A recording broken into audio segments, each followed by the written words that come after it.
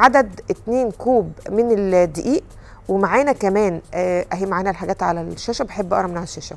ومعانا عدد 2 بيض هم حاطين هنا آه حاطين بيض عموما يعني هم عدد 2 بيض ومعانا كمان الدقيق كوبايتين من الدقيق ومعانا اللبن حسب العجن ومعانا معلقة من الخميرة وكمان معانا معلقتين من الزيت ومعانا معلقة من السكر وإيه تاني؟ معانا حاجة تاني. ومعانا بقى للتزيين معانا زبيب ومعانا سكر ومعانا جوز الهند ومعانا شربات لو انت عايزة تسقسقي بيه كده على الوش. ومعانا إيه تاني؟ سوداني. كل الحاجات الحشوه اختياري. أيوه اختياري. نقدر نكسرها؟ أي مكسرات زي ما أستاذ مهاب بيقول لنا. يعني لو مش بتحبي السوداني حطي عين جمل الموجود عندك من بواقي رمضان. دايما كده أنا بسيب في درج التلاجة المكسرات بتاعة بواقي رمضان. لو ما اتاكلتش من ولادنا لو إحنا ما عندناش أطفال هتلاقوا الحاجة موجودة. فهتقدري تشكلي بيها. لو انت حابة تجيبي طول الوقت حاجات صبحة وطازة هتلاقي عندك أكيد في البيت يعني. فتعالوا نشتغل كده ونشوف واحدة واحدة هنعمل إيه. مش هشيل أي حاجة عشان أستاذ إيهاب آه مهاب. إيهاب ومهاب قريبين من بعض. مش هيجرى حاجة آه تعالوا نشوف واحدة واحدة هنعمل إيه. أهو. تمام. فتحنا العجان. بسم الله الرحمن الرحيم. هناخد الدقيق. كل حاجة كده هنحطها على بعضها. أنا عايزة أعرف بس يا جماعة هو ده سكر؟ آه سكر. شفتوا؟ عرفتوا إزاي؟ حط لي سكر بودر عشان خاطر الوصفة دي أنا طلبت فيها معلقتين الدقيق حلوين كده بالنسبة لي جدا.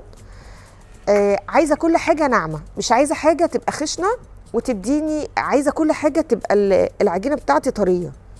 فلما بتكوني عايزة تعملي كيكة على فكرة آه ناعمة جدا حطي فيها آه سكر بودر. طب أنا مش هعرف أظبط السكر بتاع البودر معايا في الوصفة تقدري آه قولوا معايا.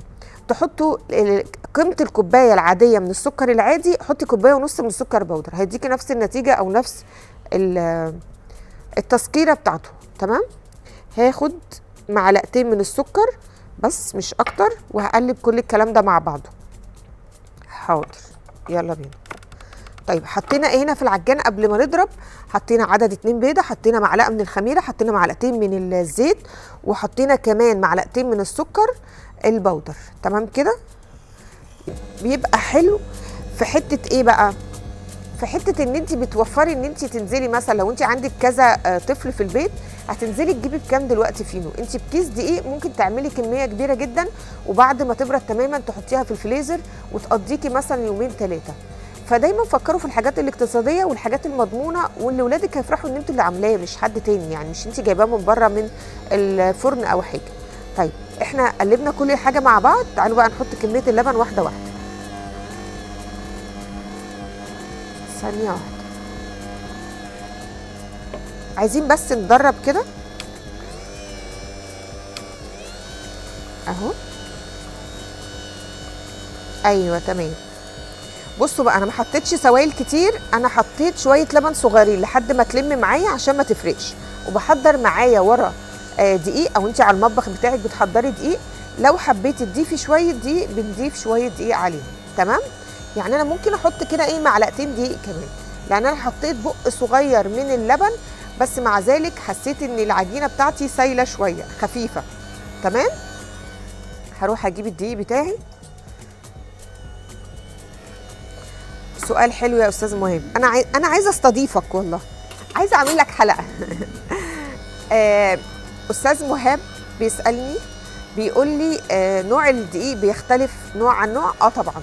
إحنا لازم لما نيجي نختار نوع دقيق يبقى لجميع المست... الاستخدامات. يعني إيه؟ بيبقى مكتوب عليه من بره كده للمعجنات للكيك للكلام ده. وفي حاجة لجميع الاستخدامات. فإحنا لا نختار للحاجة اللي إحنا نعملها مثلا بيتزا أو كيك أو معجنات أو نجيب اللي هو صالح لكل حاجة تمام؟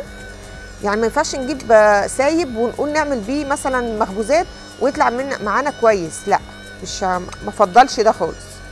أنا أحط معلقة واحدة بس ونشوف. أنا عايزاها لما على بعضها كده. عشان أنا حاساها سايبة. بس تمام؟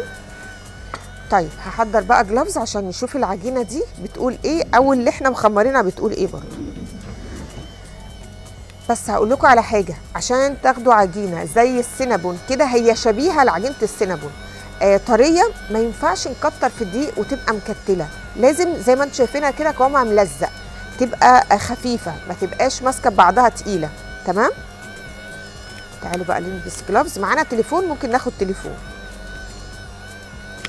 معانا تليفون يلا بينا. يا مروة.